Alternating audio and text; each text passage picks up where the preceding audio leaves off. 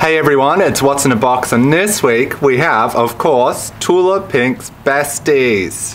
So it's a really fun range made by Tula Pink with all, um, my goodness, name's gone, pets as your best friend because they're really lovely.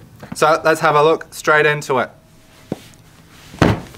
Alright, first off, because they're at the end, we're going to start with our main print here which is our doggies. Look at that. So we've got it in the red and it's called Puppy Dog Eyes. And then in that green color as well. It's a really cute, lots of fun. Next one we have is the chain, which is called Little Charmer. In the two colorways there. Very, very cute with the gold. Then we have our goldfish, which is called Treading Water. Let me open this one up because it's a bit of fun. Which way are we? This way. Look at that, it's got like a little sea castle. You've got goldfish printed on there as well, a treasure chest, bit of ocean vibes in there. Next up we have a little bunny rabbit. I used to have a bunny rabbit, but then she died.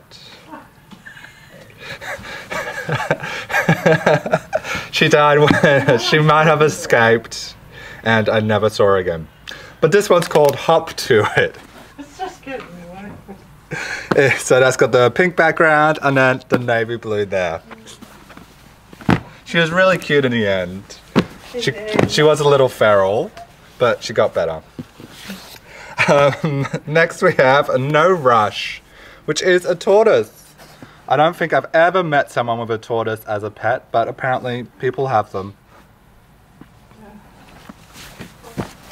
And then we've got a, let's go to this one next. So we can't have dogs without some cats, and this one is called Sitting Pretty because cats like to sit around, do silly things, knock things off tables, all that sort of fun stuff.